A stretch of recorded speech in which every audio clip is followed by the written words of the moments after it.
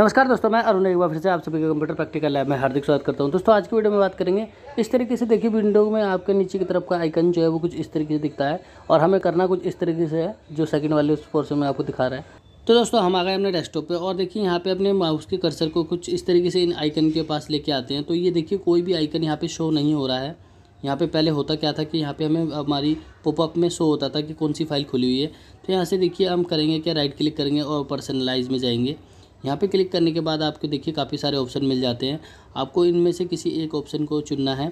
देखिए मैं आपको पहले बताता हूँ कि आप देखिए, फ़िलहाल अभी आपने विंडो सेवन बेसिक को सिलेक्ट किया हुआ है।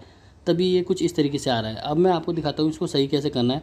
आपको अपने माउस से थोड़ा सा स्क्रॉल करना है ऊपर की तरफ़। और यहाँ ऊपर देखिए ओरिजिनल विंडो सेवन का ये जो आइकन है, इस, ये इस पर क्लिक कर लेना है। देखिए आप प्लीज़ वेट आ रहा है।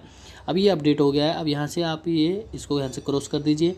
अब क्रॉस करने के बाद यहाँ पे जब भी अपने माउस के कर्सर को इन आइकनों पे लेके आओगे तो ये इस तरीके से आपको शो होंगे। देखिए, कुछ इस तरीके से, जबकि पहले नहीं हो रहे थे। अभी देखिए, सब शो हो रहे हैं। अगर किसी फ़ाइल पे क्लिक कर देते हैं, जैसे फ़ाइल को ओपन कर दिया अब वापसी जब इस पर कर्सर लेके आएँगे तो आपको ये दिखाएगा, फ़ाइल को यही दिखाएगा। देखिए एक्सेल सीट है, कुछ इस तरीके से वर्ड लिखे हुए हैं। देखिए, इसमें ये टाइप है। इस तरीके से एक बार अगर फ़ाइल को क्लिक कर लेते हैं तो ये आपको शो कराएगा कि आपकी फ़ाइल के अंदर ये मटीरियल टाइप है।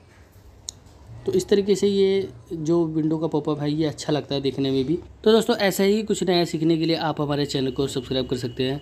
क्योंकि मैं ऐसी ढेर सारी वीडियो लेके आ भी चुका हूँ और आगे भी लाता रहूँगा। तो चैनल के साथ बने रहें। वीडियो देखने के लिए आप सभी का बहुत बहुत धन्यवाद।